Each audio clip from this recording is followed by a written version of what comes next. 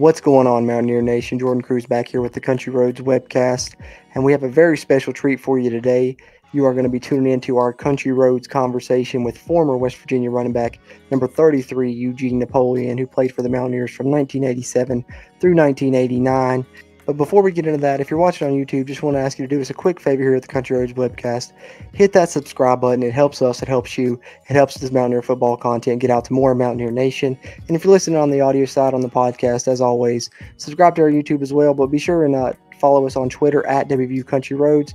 And if you're listening on Apple Podcasts, go ahead and leave us a rating. That really helps. But you can find us on Apple Podcasts, Spotify, whatever. And if you're listening to the audio version, you prefer video version, we've got that up on our YouTube and it'll be up on our Facebook page as well at Country Roads Webcast. Um, that being said, let's get into it. Here is our Country Roads conversation with former West Virginia running back Eugene Napoleon. All right, Mountaineer Nation, welcome into our Country Roads conver- conversation. We are joined by the CEO of Nap Vision Entertainment, best-selling author. Uh, the list goes on and on of the things that this man has been involved with, and of course, you know, last but not least, former West Virginia running back. I'm sure that's what you guys want to hear about. You know, some WVU stories and talk a little Mountaineers. Uh, West Virginia running back Eugene Napoleon played for the Mountaineers from 87 to 89. Really appreciate you joining the show today, Eugene. You doing all right?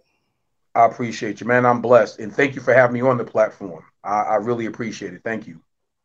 Yeah, absolutely. Absolutely. We're we're honored to have you on here. And uh, I know we want to get some uh, WVU stuff, some W football talk. But before we get into that personally, you know, I was, you know, looking through your bio, you know, some things that you've done, and what stuck out to me, something I didn't realize is you're also a best-selling author.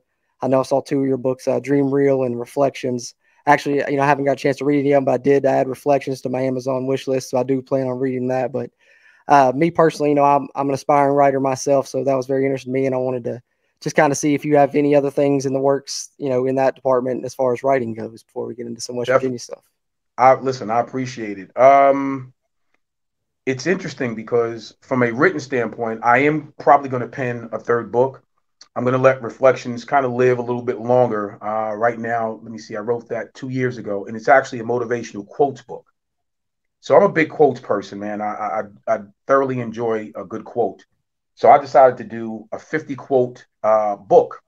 So that's what reflection is. It's it's really uh, to help you build self confidence, uh, positive self esteem, some quotes to help you make better decisions. Uh, that's what that premise is all about. But I am going to pin a third one. Uh, that's that's you know God willing that that's my plans. Probably within the next year or so, I'll release a you know a third book. But um, it's interesting when you talk about writing.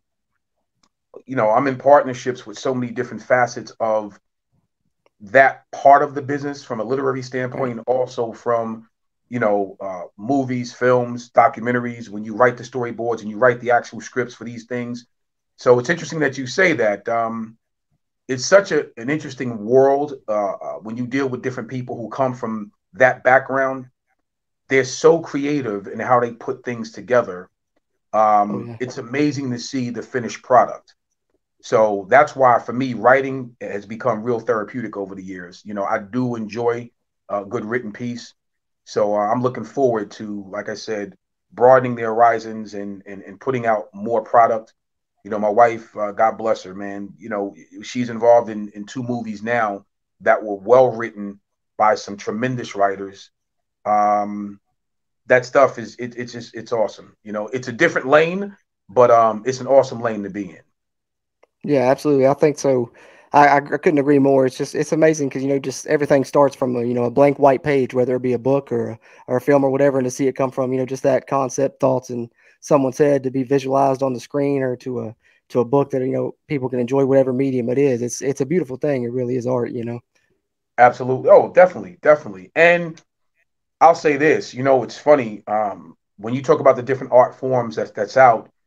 Talent is talent. It doesn't matter where it comes from, what the background is the key is if you're going to be successful in anything, the completion of the task is really what the goal is.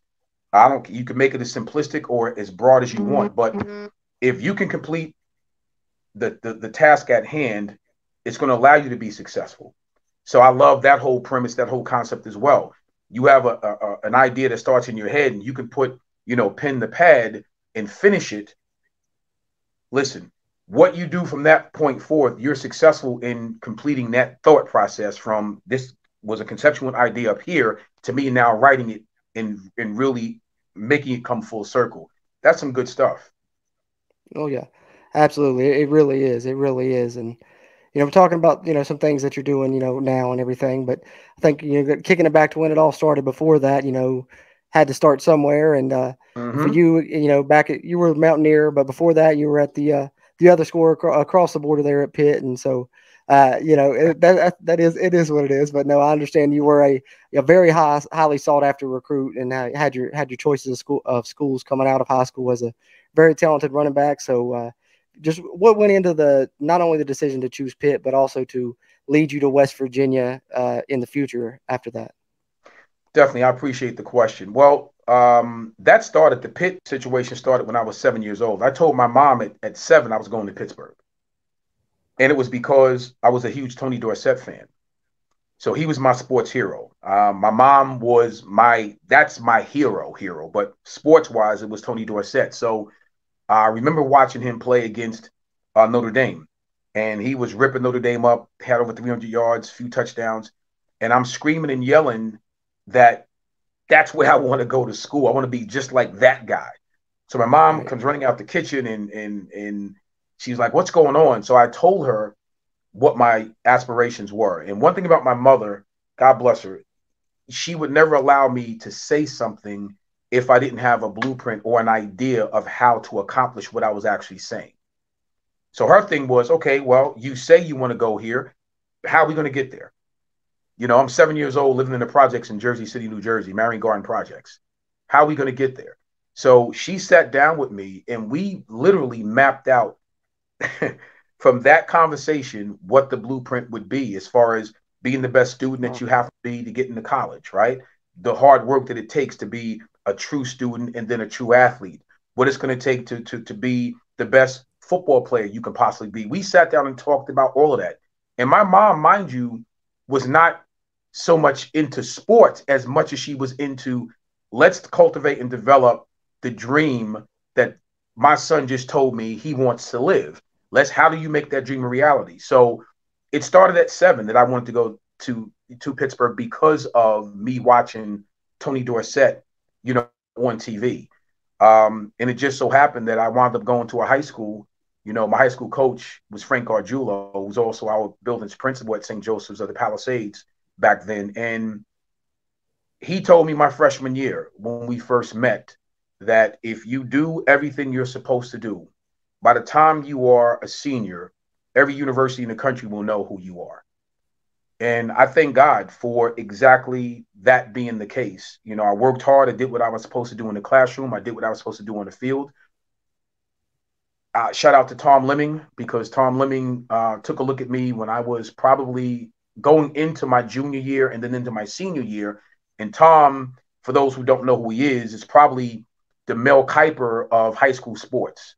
You know, Tom Lemming is, is a sports analyst who looks at all the top players around the country. And back then, he was the one who would help to pick the high school Americans. So going into my senior year, I was a high school American, you know, considered on seven different teams you know, uh, number one in the state of New Jersey, number three on the entire East Coast, and the 13th best player in the entire country coming out of St. Joseph's High School. So, yeah, I could have went to any school in the country, but like I said, my dream school since I was seven was Pittsburgh.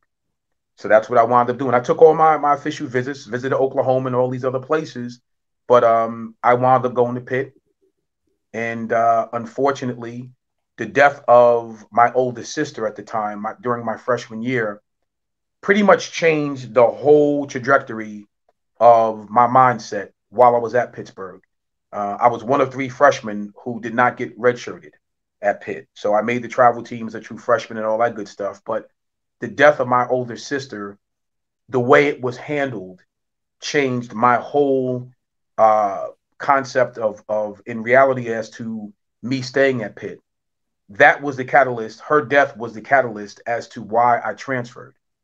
So I took five more visits. And of course, during that time, West Virginia was one of my five official visits once I decided to transfer. And I, listen, I lie to you not. Hindsight is 2020. Um, if I would have visited West Virginia out of high school, I can honestly say I probably would have attended WVU right out of high school because the transferring there allowed me to understand having to sit out that one year. It was one of the best moves of my young life, to be completely forthright. Um, Don and that staff provided something for me and my family that I really needed. And it was just the sense of being at home, the sense of the character and the moral base that Coach Nehlen provided. The it's not just about sports. It was bigger than that. The atmosphere that he created there for the student athletes at that time was what I needed, especially after coming off of my sister's death. So I will say that to any parent who's listening. My going to West Virginia helped to shape and mold me from the same character and the same values that I was taught at home with my mom. For me, that's what I needed going to college. And when you're playing major college football, you have to find the right fit with the right type of individuals and coaches that's going to provide you that.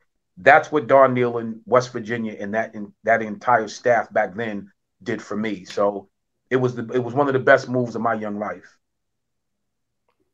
Yeah, absolutely, and I think that's something that holds true today for for West Virginia. Is once the players get on campus for for the recruiting visits, that's when they they stand a good chance to land those players, and that's really always been a selling point, I think. And I'm sorry to hear about the circumstances that led you to transferring, but glad that you ended up as a Mountaineer. And um, we'll talk about the future in a minute. But I think, you know, just the teams that you were on, I know you touched on Don Nehlen a little bit and everything. We got to stick there in, you know, 87, 88. And I think you're a member of the, you know, the national team that played for the national championship in 88. And right. talking about that team a little bit, you know, um, one of the, you know, arguably the greatest team in, in WVU history for sure. I think WVU football history and what Don Nehlen did turning that program around and getting it to that point. But going into that season, um, leading up to it. I just want to know what the kind of what the feeling was like. Did you guys know going in, hey, we got a chance to to go undefeated and we may end up, you know, playing for the national championship? Did you guys know that ahead of time? I'll be honest with you, absolutely. Um, I believe well, first off, that year during the off season, we had such great leadership. You know, the seniors were just, I mean, second to none the hard work that you put in, the preparation that we put in, we kind of knew we had a chance to be a really good football team. But everybody stayed that summer to to to work out and to train and to put in the extra time needed and necessary to be that good.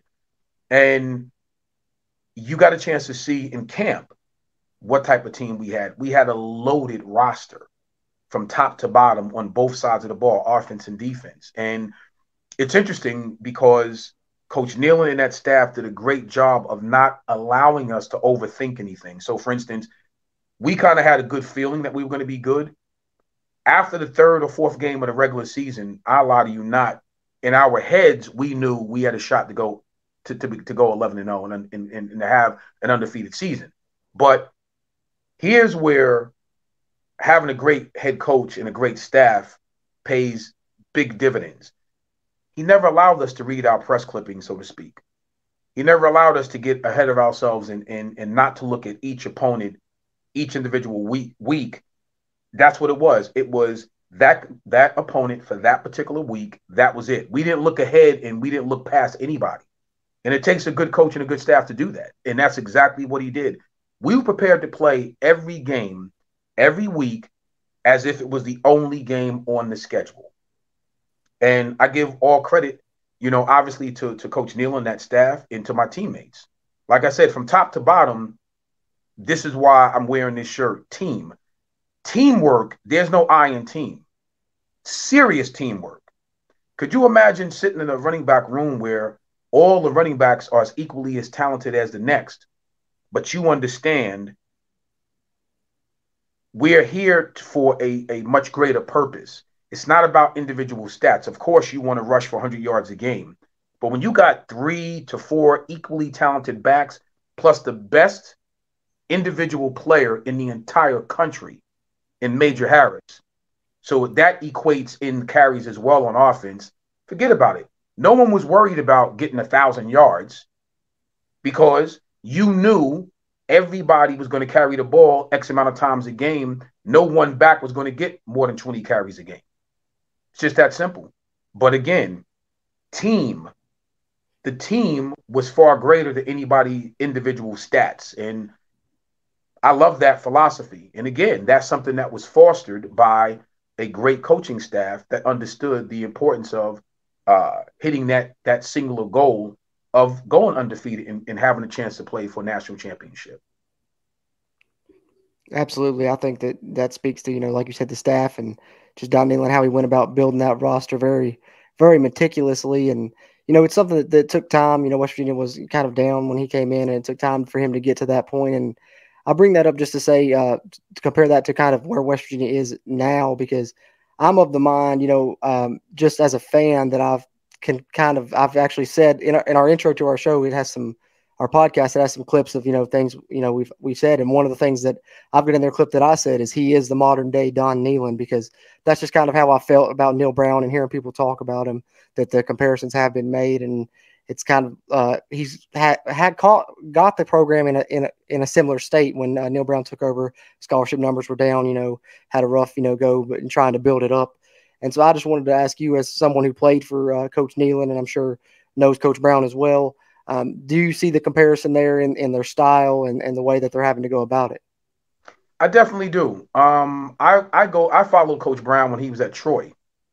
Um, he's a character man. You understand? So when you are a character guy, that means you're going to probably hire people that are like-minded. That means you're probably going to bring in student athletes that are like-minded. Um, and sometimes that's what Coach Nehlen was. You know, he would sit you down and tell you exactly what his blueprint was and how you fit into that blueprint. Not necessarily promising you you're going to be the greatest thing since air, but at the end of the day, if you worked hard, you kind of understood again where you fit. That's important because I, I think Neal Brown in this current atmosphere of, of, of big time college sports and recruiting, you got to be brutally honest with the parent and with the student athlete. Coach Nehlen was nothing but brutally honest with me when I when he recruited me, you know, eons ago. I respected that. You understand? So to to to hear I was on a, a Zoom call a few months ago with Coach Brown and had the chance to listen to his philosophies and and and and, and his recruiting uh, philosophy. And let me tell you something it's eerily similar to the kind of man that Coach Nehlen was way back when. That's what you need to run your program. You know, obviously, you know, everybody wants to win, win, win. You win with character. You win with character. And that's what he's recruiting. He's trying to recruit character. Yeah, sometimes it takes a lot longer to do that. Let me say this on your platform. People know me that know me well know that I'm not a stars guy. I don't get caught up in all the hype of five star, four star, three star, whatever. Right. There's so many people who don't really understand that systematic way of bringing in 25 stars. There's a reason why other programs can get those type of kids. We don't do the things that other programs do to get those type of kids. And that again is a reason why I respect what West Virginia does and how we've always conducted ourselves as a flagship university with doing things the right way. Okay? So when you have a guy like a Neal Brown at the helm, he's going to recruit the right type of young people that's going to come to Morgantown and represent that flying WV in the right way. And if you don't want to be there, then you don't come to Morgantown, West Virginia. It's as simple as that. With me, I'm one of them what you see, what you get type people. That's how I feel about it. Don't come and tear down the reputation of what the Mountaineers has built over all these years. And I'm glad that Coach Brown is recruiting the right type of young people to come into this fine university. Absolutely. I couldn't I couldn't agree more. I think the culture is, is very important. Like you said, maybe more so the you know, chemistry and culture and you know is more important than the stars and the talent that you can get. And like you said when you spoke about, you know, Coach Nehlen, and he made it feel like a family and that was a, a big part of it. And I think Coach Brown strives for that as well. And, you know, that's one thing to look at, especially coming up with this year's team is it's going to be his fourth year. So you're looking at a roster that's mainly his players. Got a couple holdovers from the previous regime, regime but that culture is almost fully installed. And that kind of makes me want to ask you a question in regards to transfers. I know you were a transfer yourself, transfer portal nowadays. It's a bit different game and stuff like that. But uh, as far as the culture and Neal Brown trying to install that, uh, without, you know, I'm not saying specific people or it's, is this case in every scenario, but do you think some of the transfers that have left the program could be them in a way addition by subtraction? Maybe some guys that he inherited didn't fit the culture, but he had to, you know, take them on because he really didn't have no choice, you know, but to just make do with what he had versus now where he can kind of be more selective of the players that he wants to fit his culture. And that could possibly be a reason some of the players that have transferred have done so. That's a, that's a great question. Well, here's the thing. I think the transfer portal, as it stands, this is this is the free agency model of the NFL. so yeah, this is the business of where we are in major college sports across the board, not just in football, but basketball and everything else in in between. So you can't have it both ways. For instance, if you get kids that are coming in the transfer portal from from you know you know uh, big universities or whatever the case may be, and they're adding to your roster and they're in, in your B, it, it, it's a benefit to you. Then you're excited. Well, it works the opposite way as well. So when people go out the door, that's the nature of what's going on with this transfer portal. Um, I think Coach Brown understands that, and I think every coach in America understands that. It's the same exact thing. You got players leaving Alabama, you got players leaving Georgia, you got players leaving Miami. You know what I mean? So this is what every program is dealing with. I think the microcosm of what's happening in Morgantown, it seems to be more because we don't typically when you get to WVU, it, it's been such over the years where you don't leave. It was very minimum transfers before this point. You we had kids who didn't like certain things, but I think that's part and parcel based on how they're recruited as well. And that's what I mean by the whole star mentality. You come in thinking that because you were good in high school, you're going to be good uh, on a major college level. It's all about consistency. It's all about growth and consistency and development. So I think that's part of the problem too. You get a kid that comes in and maybe he doesn't fit the scheme. Maybe he thought, you know, uh, he came to college and this is what it was. And you grow into that to understand that, wow, maybe this is not the fit. I'm all for if it's not the fit, go where you think is going to be a better fit. Howsoever, because of the transfer portal being in its nature the way that it is, and you got now obviously guys can go and get these endorsement opportunities or whatever, that speaks a little bit differently as well. Where I have a problem with our transfer portal and the way it's set up, you come to a school like WVU when you are a starter, let's say a two year starter, and then all of a sudden you get into your junior or senior year and somebody is whispering in your ear, well, if you go over here, you're going to get bigger endorsement opportunities. You're a two year starter, two year letterman at a, at a, at a major Power Five school there will be no reason for you to go anyplace else because that means the development part of you has already been established. You're a two year starter. you know what I mean? Right. So there's something else that's driving, I think, players into these other situations. And again, it's not just a West Virginia thing. You you see kids leaving all over the country for different reasons. I'm going to say this, and, and NCAA may may or may not like it. If you really want to slow down the process of what's going on, I've said this uh, on another platform before tie in the educational component to it, and I guarantee you it'll slow down the transfer portal about 60%. And what I mean by that is for you to be eligible, if you can leave, you can definitely leave whatever school you want to. But in, in order to be immediately eligible at your next stop, you have to have a 3.0 GPA. Oh yeah, that yeah, that would do it. That would do it. Yeah, you have to have a three because here's the thing: we forgot what this whole thing is supposed to be about. It's not athlete student, it's student athlete. So where's the student component tied into the transfer portal? You get the immediate benefit as an athlete if you go from one place to the other, correct? You get the immediate benefit on stepping on the field as soon as you get there. Well, where's the academic side?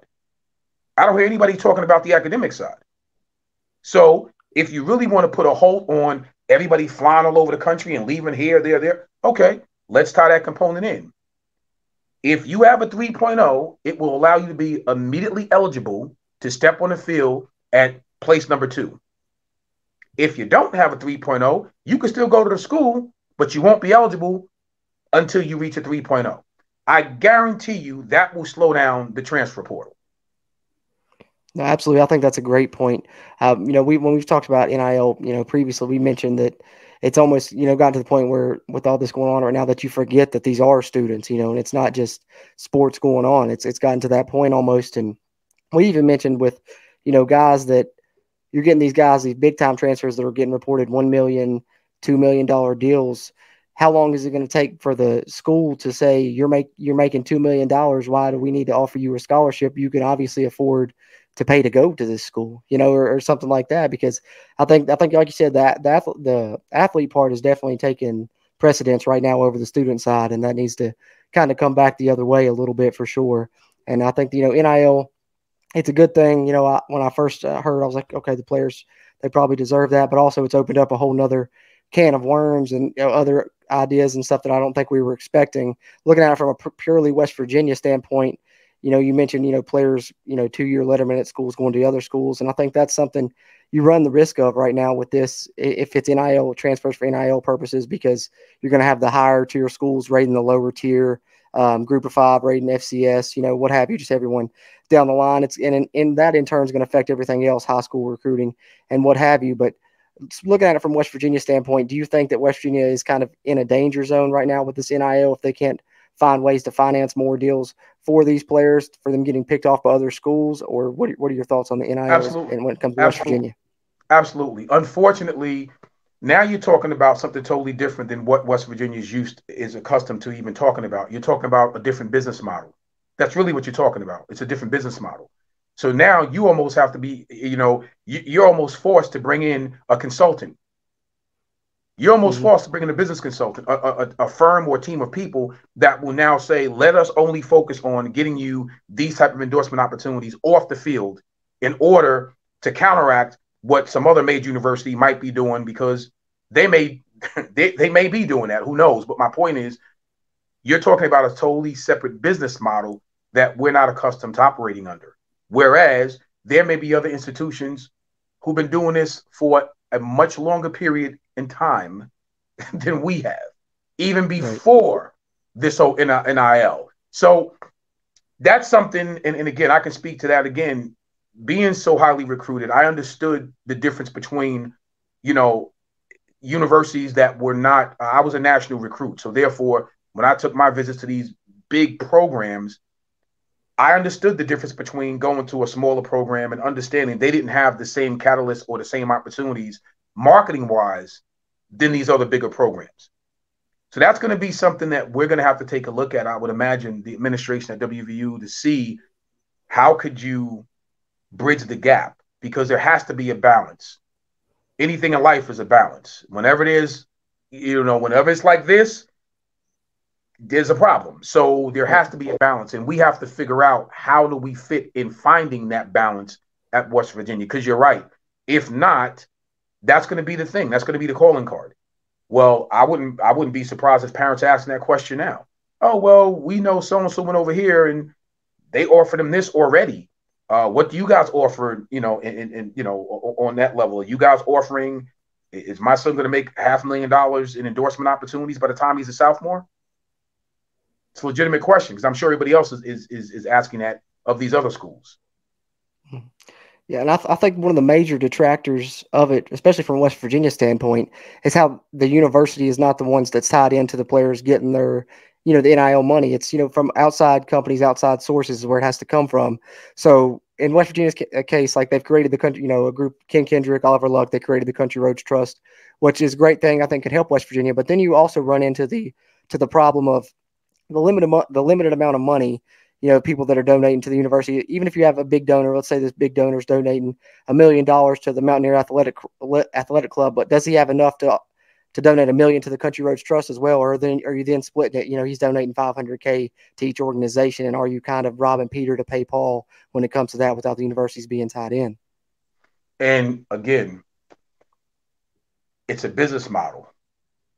You got to figure out like that's a again that's a great point of reference what's what will then be the business model that we have to adhere to? And, and, and, how does that look? You know what i mean? When you really sit down how many players do you have at the table that's going to pour into you know uh, to, to create that that flow of money?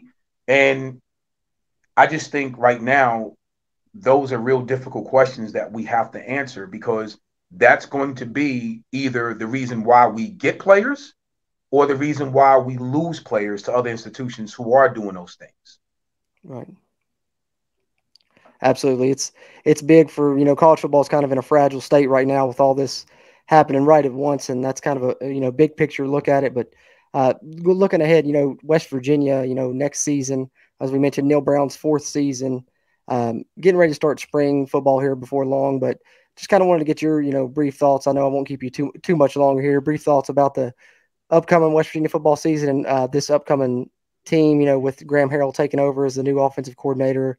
Neal Brown went out and made it, the changes that I think were necessary to try and improve the offense. And wanted to get your thoughts on, on that as well as, you know, the quarterback battle West Virginia's going to have. You know, one of the most recently, I think 2013 was the last time we really probably had a legit quarterback battle. So, you know, almost a decade since you've had one like this, and you've got three guys competing that have never started a game before. So, just kind of want to get your thoughts on the upcoming look of the Mountaineer football team and specifically the offense, which is the area that needs the most improvement. I think we could all agree.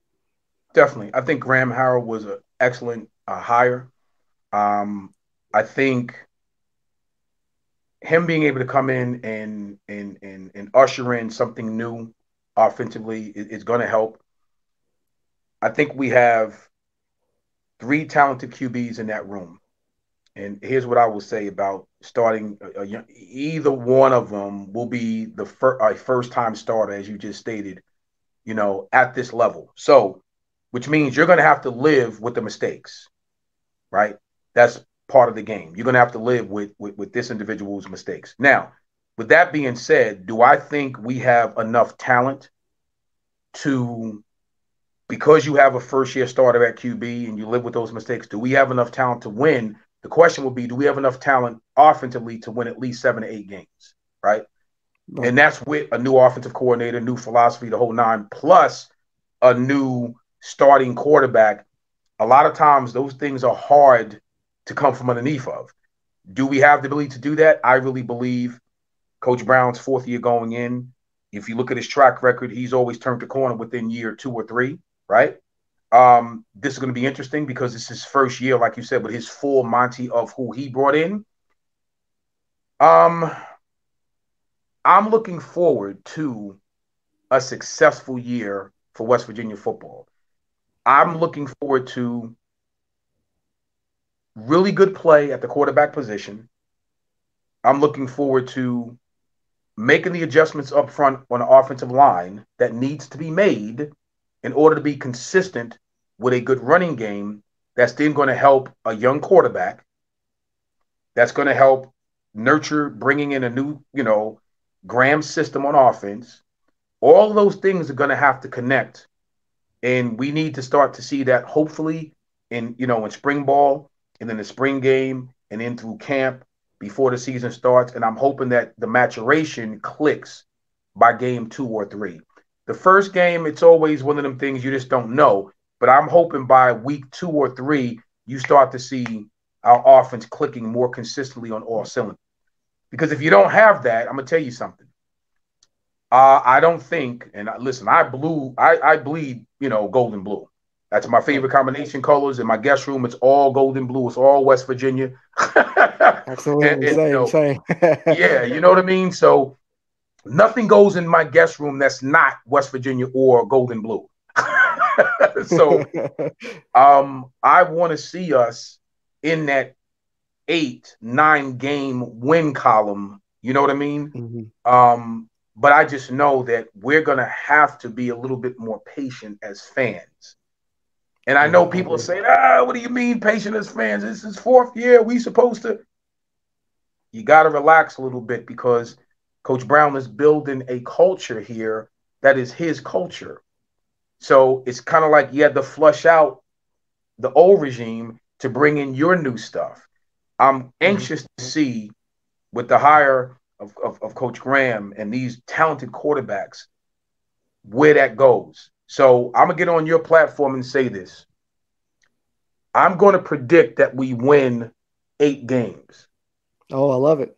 I love and it. And you can hold you can hold me to it, and I'm going to predict that any one of those three quarterbacks will probably be. And you're going to think I'm crazy. newcomer of the year in the Big 12. Wow. Wow. I, be, I believe it. No, he's had success with young quarterbacks, so I, I think that yeah, that's that's what helps. I think I was a little bit more leery of it before before they hired him, and then now I, I I'm feel comfortable with where they're at. Yeah, we have a lot of talent in that room. Those young men are talent. All all of them, each to their to their own different styles of playing the position, but they're all talented and they're young. That's where I inspire to say I think with, with with with coach's philosophy of how to bring along young quarterbacks, it plays right into our hand of any one of the three having an opportunity to be successful early. But I also think it's going to rely on what we have up front. We're going to have to play a mm-hmm. lot more consistently and a lot better up front. Yep. Yeah, that's that's the big thing. You got to see improvement from that offensive line. I think that they've they've done it the right way. They've got the numbers now in the trenches because you don't want to build from the trenches out. And defensive line has not been a problem. They have a ton of numbers there. The offensive line was very young last year, and you got the same guys together. So you're hoping that with all the time they've played together now, that they'll start to gel. And like I said, like I said, it's a lot of new pieces all around with the quarterback and Graham Harrell and stuff. So like you said, it might take some time. But I'm kind of in the same mind of you. I've got a lot of faith in this this team this upcoming year. I think the defense has been solid, and if the offense can improve, West Virginia's been in most games with a chance to win it at the end. Just got to get over that hump, and once you do that, then you you know you're in good shape. Absolutely, absolutely. All right. So that being said, uh, really appreciate you coming on for this Country Roads conversation here on the Country Roads webcast. Um, before I let you go, I know you have uh, you have your own you, uh, spot there on YouTube. I know you're on the Sports Illustrated, but anything you want to plug there, you know, just let you have the floor there. Man, I appreciate you. Listen, I do have, and, and I thank God for it. Napoleon's Corner, it's on YouTube, but it's on the Sports Illustrated uh, platform, as you just mentioned. Please go and like and subscribe. You know, I'm up every Wednesday at 7 p.m. And um, I really do appreciate it. It's just, uh, it, it, it's one of the shows where I'm just talking about different things, life, uh, some sports every now and again, more inspirational and motivational content. That's what Napoleon's Corner is all about. So please go on YouTube, like, subscribe to it uh, please share the link. I really will appreciate it. Like I said, it's every Wednesday at 7 p.m. Eastern Standard Time. And I definitely want to give a shout out. I'd be remiss if I didn't to my beautiful wife, uh, Grammy considered gold selling, plat- double platinum award winning recording artist is Tracy Napoleon, but her stage name is Naya, N Y apostrophe A. And I want to give a shout out to my cousin. If you know anything about music, you will remember the legendary group from the 90s and early 2000s, PM Dawn um, one of the most successful groups of all time. As a matter of fact, they have an upcoming uh, unsung uh, episode uh, in April. I believe it'll be sometime in uh, early April. Uh, it's on TV One, and it's the PM Dawn story, which um, I thank God that you know I'm featured in a little bit. My wife, my beautiful wife, is featured in it as well. So I'm going to also give a shout out to, to my cousin Jarrett Cordes, you know, uh, slash Eternal. He's a tremendous writer, producer, and he's one of the founding members of PM Dawn. So he's the one that's the catalyst from all those hit, big, big, multi freaking platinum hit records that they've had in the 90s and early 2000s. He's the catalyst to that. So he's producing my wife's EP now, and we currently have the number one single out right now. It's called "Chilling with My Baby" on all streaming platforms. You can you can purchase that, and we would greatly appreciate it definitely everyone go check that out. I think your track record speaks for itself. That anything that you've got your hand in is is, is solid gold, uh, in, in, literally in some cases, right? well, behind me speaks it. You know, there's two platinum Absolutely. records there, and there's a gold album there. Absolutely, absolutely. But that being said, I really appreciate you coming on here on the Country Roads webcast and uh, give us some time. We're honored to have you on, and, and uh, we really appreciate it. Thank you so much. And I'll be remiss without saying, you already know how I'm going to end this thing. Let's go, Mountaineers. Absolutely. Let's go, Mountaineers. You got it, brother. I don't want to see your face up close. I just want to get the control.